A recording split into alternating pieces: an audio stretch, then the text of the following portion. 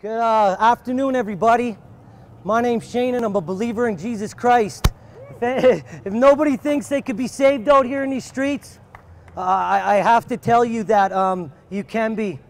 Um, I heard this yesterday. When the system fails us, righteous men will rise. And here we are today, rising, rising against all this evilness.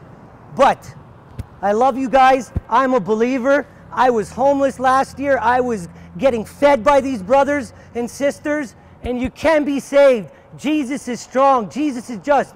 1 John 1 9 helped me tremendously. If we confess our sins, He is just and uh, he, he is faithful and just and will forgive our sins.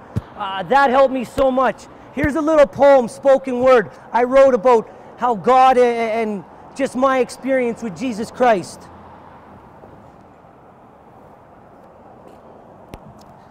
Dirty devil lied to me, whispered it's God's will. That's not pain, my boy. Take a sip, take a pill. Hurt people, hurt people.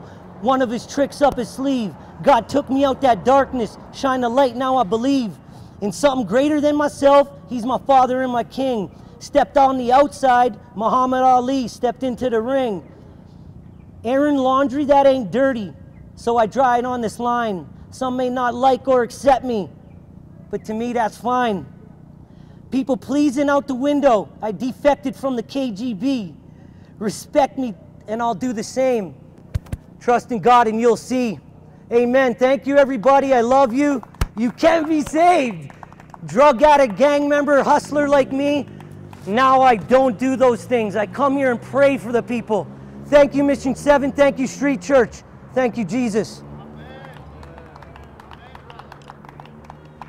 True story.